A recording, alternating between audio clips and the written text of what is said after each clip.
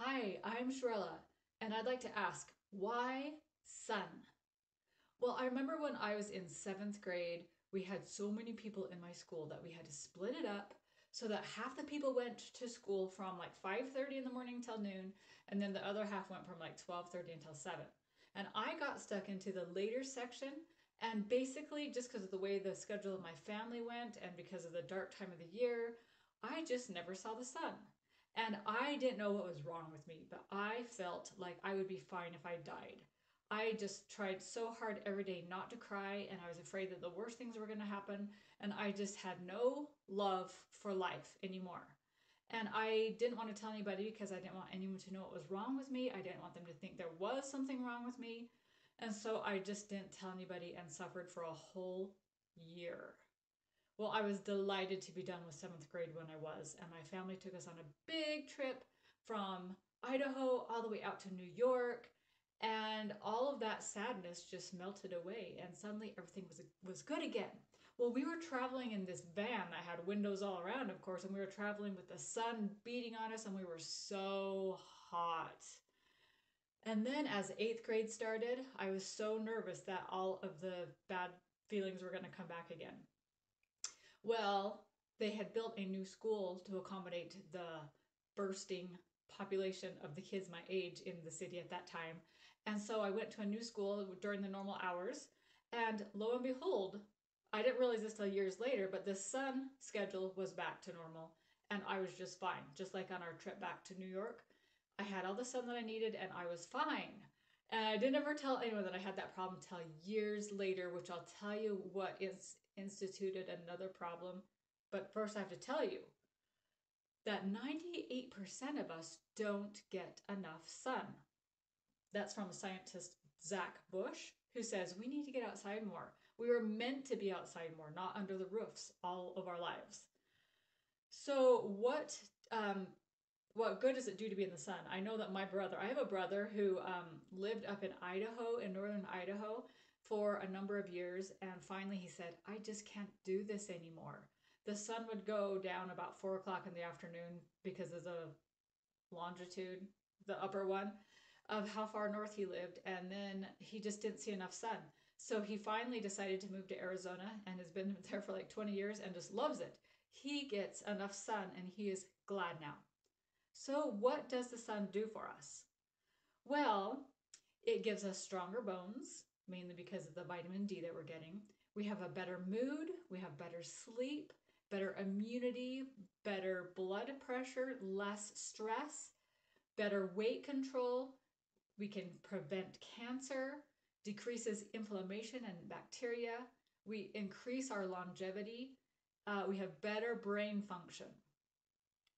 Well, as I mentioned earlier, I had this fluctuation of sun differences that now I know affected my hormones. So, seventh grade, you know, the hormones are coming in all new and fresh. And then after I had my first baby in in uh, it was in the spring, and I once again fell into a big depression where I remember telling my husband, I was like, nothing looks right. Everything looks dark and wrong. I know that it's supposed to be wonderful, and I just had this baby and I love this baby, and what's wrong? But everything just looked bad. And so I started finding myself gravitated toward the light sources, like the window and the doors, and wanting to be outside even though my baby was sleeping inside. And I realized how much effect the sun had on me. So I wrote down a list of things that I needed to do to be happy, and one of them was to get a daily walk in the sun, which I have done for years and years, and I just need that sun. There's something about hormones and the sun.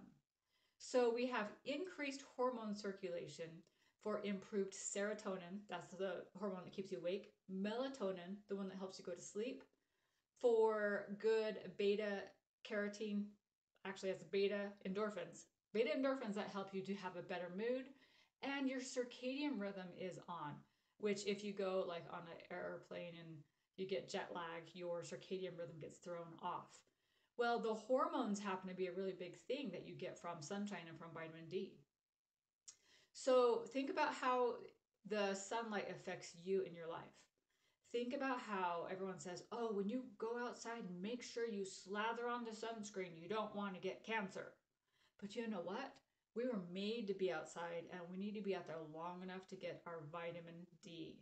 So, what I will do is I just let myself get that sunshine. And when I start to feel like it's too hot on my skin, which is after about 20 minutes or so, then I slather on the sunscreen. But generally, to get my vitamin D, I just go outside and enjoy the sun for about 20 minutes. I set a timer, I put on a good meditation, and I get my vitamin D. And I've been doing that daily, and my vitamin D levels are good. I have good happiness. Just everything seems to function better. Everything just kind of lines up just the way that I need it to to be a happy, healthy person. So I'm going to encourage you to get your 20 minutes and just get out there into the sunshine. They say to just expose your skin enough. Sometimes I'll roll up my sleeves or my pant legs or sometimes even show my belly, get a little more skin there and get that vitamin D and get that beautiful sunshine into your life. Let it fill you up with those rays of happiness like it does for me and so many other people. Well, if you would like a life changing program of all around better health, I have put together a 91 day app based program where you can improve your health, your exercise, and your better self care so that you can be all that you and God intend you to be. You can find it by going to www.honeydewhealthin91.com.